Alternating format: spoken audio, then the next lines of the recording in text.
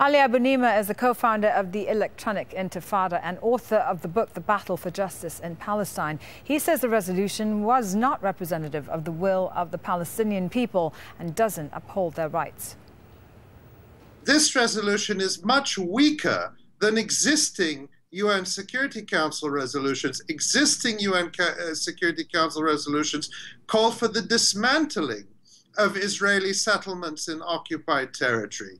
Uh, and this resolution doesn't use any of that language. Previous resolutions state that Israel's annexation of Jerusalem is illegal and null and void.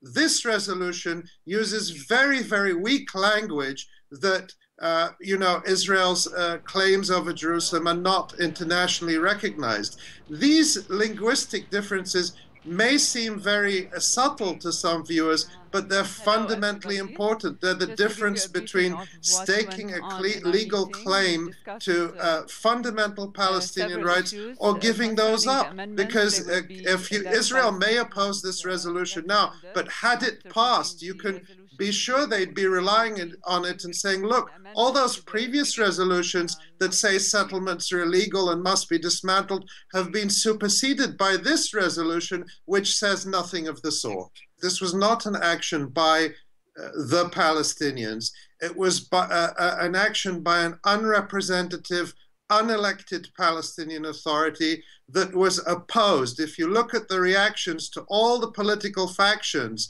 across the political spectrum in Palestine, they opposed this resolution. So this was a last ditch measure by a Palestinian Authority that is unelected, that rules through uh, uh, uh, intelligence services and a police state to try to win a uh, one day of positive headlines and to extend its shelf life. Remember, this was supposed to be Mahmoud Abbas's big uh, plan to go to the UN. Well, it's failed. Now what? Will they make good on their threats to take Israel to the International Criminal Court, to dismantle the Palestinian Authority, and hand the keys of the occupation back to the occupying power Israel? I doubt it. This is a bankrupt Palestinian Authority that made this last, last ditch ploy and failed.